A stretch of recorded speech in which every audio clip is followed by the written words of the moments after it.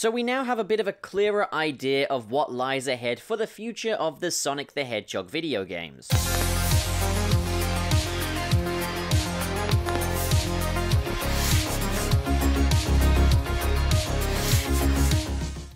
What's crackalackin' fellow home dogs? We're back at long last with a Sonic news update. This comes from an OtaQuest interview with the leader of Sonic Team, Takashi Iizuka, When OtaQuest asked him about the balance of 2D and 3D in Sonic games, he had this to say. Not much time has passed since the distinction between classic and modern was made. In fact, it was since 2011's Sonic Generations title. Even before that, in addition to the 3D main series, there was a high demand for the 2D action games, such as the Sonic Advanced series, so we revived the old Sonic as Classic Sonic for the 20th anniversary title Sonic Generations. We initially thought that it would be a 20th anniversary project only, However, after that, we had a strong demand for a new classic Sonic standalone title. That became 2017's Sonic Mania. We would like to take good care of these two very popular iterations of the Sonic in the future. I'm grateful for all of the fans who have loved and supported Sonic for so long, and I hope that we can make it a year to celebrate the 30th anniversary with all the fans in order to meet their desires.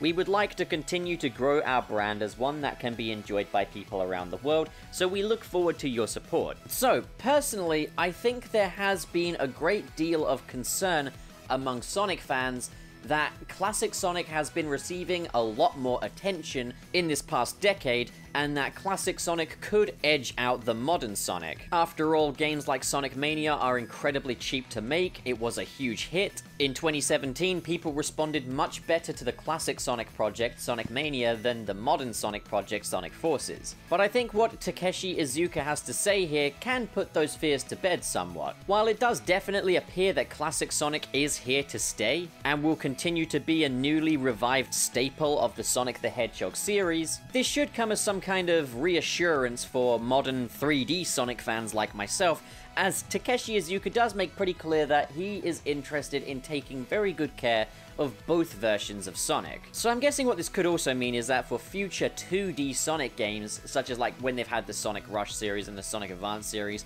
maybe anything going forward like that will have a classic Sonic aesthetic, maybe? I, I, I don't know for sure, but he stated that all through the 3D modern Sonic era, there have always been 2D Sonic games running alongside that. And he's absolutely right. If you look back on the 2000s for Sonic, you had Sonic Advance, Sonic Rush, Sonic 4. What I am hoping for now, though, is that they do commit a little bit more to that distinction between classic and modern Sonic. By which I mean, not so many crossovers between the two, but letting them have their own games, because the past few modern Sonic games have made efforts to kind of merge modern and classic in some ways, and I don't just mean the games that have classic and modern Sonic in the same game. Modern Sonic and classic Sonic have always had two pretty different aesthetics to them, and I don't just mean in character design, I mean in environments as well.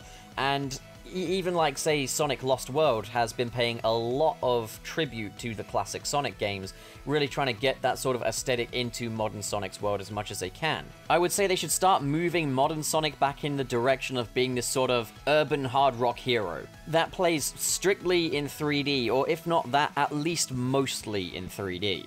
During the 25th anniversary event, Classic Sonic definitely got the preferential treatment because not only did he get Sonic Mania, he also played a role in Sonic Forces, and Sonic Forces was chock full of 2D gameplay, whether you were playing as Classic Sonic or not. So what I'm saying here is I'm hoping that whatever this 30th anniversary brings us, if they do want to give something for both classic Sonic fans and modern Sonic fans, that it be a strictly 3D modern Sonic game and a Sonic Mania-esque title on the side, and that they don't have classic and modern crossing over for this next game.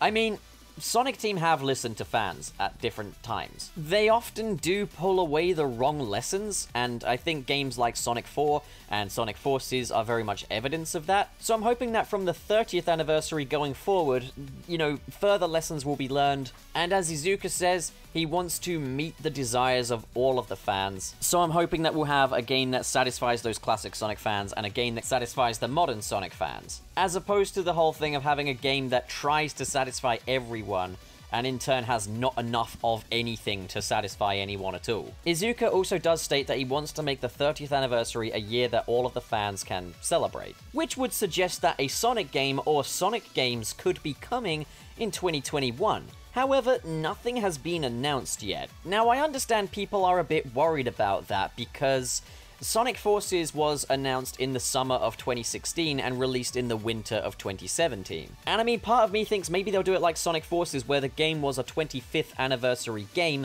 but released on the 26th year. The announcement was the 25th anniversary. But at the same time, if you remember, Sonic Generations was announced in around, I don't know, March of 2011 and released in the winter of 2011. These things aren't always announced even a year in advance, so maybe we will be getting a Sonic game or two Sonic games sooner than we think. But what we do at least have a little clarity on now is that neither of our two versions of Sonic will be going away. With Sega perhaps taking a leaf from Mario's book, how you have the 3D Mario games and then you have the new Super Mario Bros. range. It's just that in this case, Sonic will be sporting his classic design, which is, again, not too far from the whole Mario having Paper Mario and Ordinary Mario. So, if they can commit to this, the future of Sonic really is bright, and the whole distinction between modern and classic might not be as strange as we maybe once thought. Well, now I hand it over to you, fellow home dogs. What do you guys think? And if you did enjoy this video, might I ask you a favor? Please hit subscribe and that notification bell as your way of telling YouTube keep it coming. Likes are also highly appreciated. Now, I'm always trying to make my content better and more consistent, but this does come at a financial cost, and ad revenue isn't always going to cover putting a roof over my head and covering the subscription fees for the software I use to make these videos. So if you really enjoy this content and you feel like lending me a hand by any chance, I would be so grateful if you would consider joining my Patreon, which will also give you access to the Channel Pup official Discord server. I also have a written blog called Dr. Blogtopus over on channelpup.net. That is where I put my more critical and analytical stuff. And in the description below are links to different social media platforms where you're more than welcome to come and interact with me. So that's it for today, fellow home dogs. Thank you so much for watching. I'll see you on another video.